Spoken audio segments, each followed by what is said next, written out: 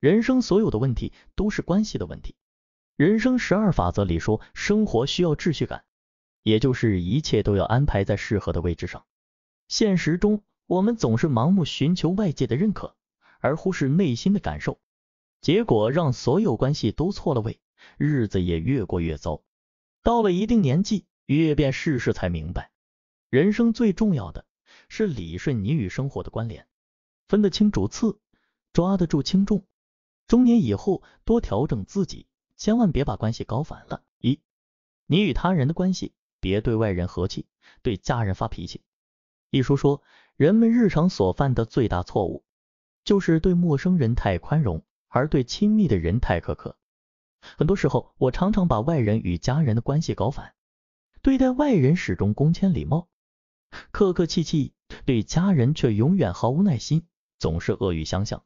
作家张德芬曾讲过一个读者的故事，这位读者叫慧慧，她的老公是个不折不扣的两面人，外人面前他看起来彬彬有礼，十分亲和热心，同学要借钱，他二话不说立马打款。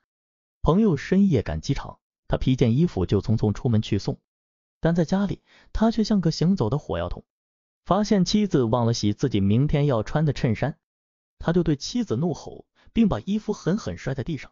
看到孩子作业哪里错了，就一拍桌子，揪着孩子耳朵大声谩骂，导致现在孩子看到他就怕，慧慧自己也寒了心，整个家快要分崩离析了。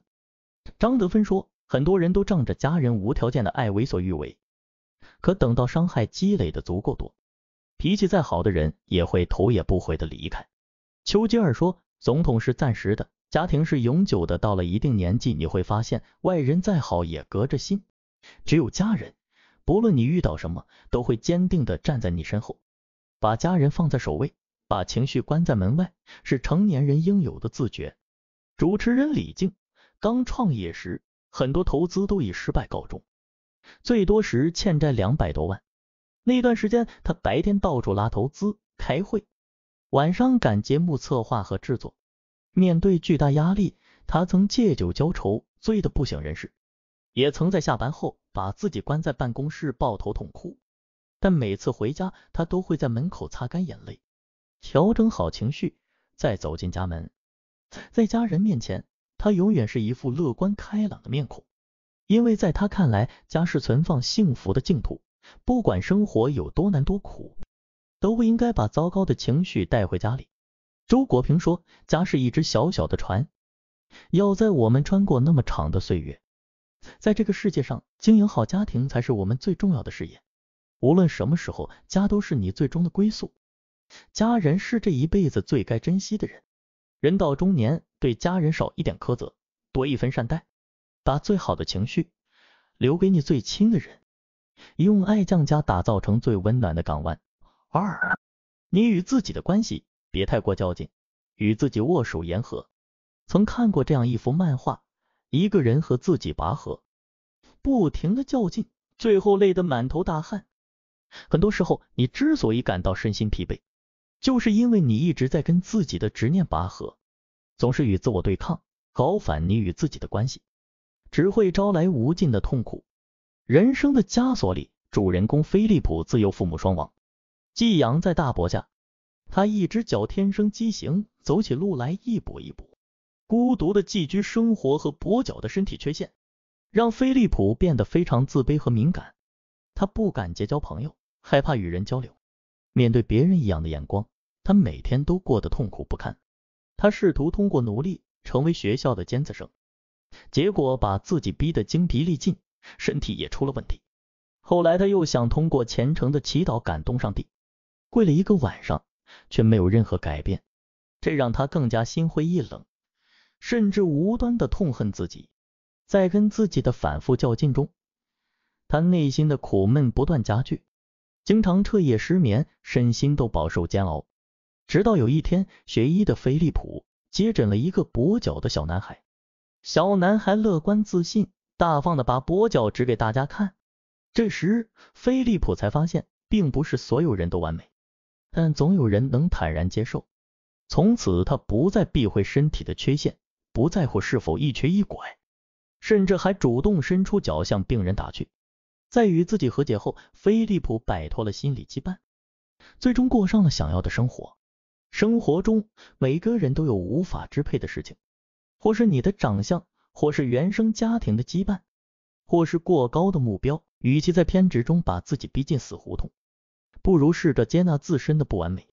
季羡林先生说：“每个人都想争取一个完满的人生，然而自古及今，海内海外，一个百分之百完满的人生是没有的。我们常常执着于事事圆满，一切力求达到完美。”等到吃足苦头，才明白，即便拼尽全力，总有你控制不了、力不能及的状况。人到中年，学会正确处理与自己的关系，减少无谓的对抗，与自己握手言和，你会发现，人生处处是希望的出口。三，你与物质的关系，别总是占有而不懂节制。日剧《我的家里空无一物》里讲了一个故事，女主角麻衣非常喜欢购物，入手的每件物品。她都堆积在家里，放眼望去，这个房间里堆满了各种毛绒玩具、笔记本、衣服，凌乱不堪。随着东西越堆越多，一家人的活动空间越来越小，甚至连挪步都开始变得困难。过多的物质不仅妨碍了他们的正常生活，还让麻衣陷入无尽的烦恼当中。在物欲横流的时代，有很多像麻衣这样的人。看似支配物质，实则是被物质支配。往往我们试图占有的东西，最后都会变成束缚自己的沉重枷锁。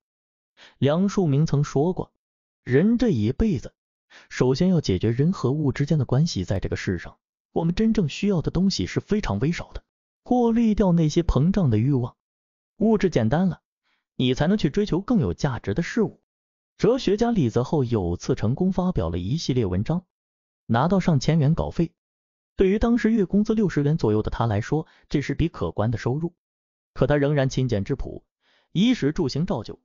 好友劝他说：“现在经济宽裕了，给自己置办一身名牌衣服吧。”他却摇头说：“名牌穿上是负担，我只想过简单的生活。”他不在意物质多寡，而是把所有精力放在学术研究上。最终，他写出了《美的历程》《中国近代思想史论》等一系列著作。哲学家埃皮戈蒂塔说：“一个人生活中的快乐，应该来自尽可能减少对于外来事物的依赖。总是贪求物质的丰盛，不仅会平添烦恼，也束缚了你前行的步伐。只有学会断舍离，让一切回归到简单，你才不会被物质困住。人到中年，要学会给生命做减法，摒弃无关紧要的事物，才能为人生留下空间，不断充盈自己的精神。”毕淑敏说：“人生所有的问题都是关系的问题，关系一旦颠倒或错乱，生活就会失序，烦恼与问题也就接踵而来。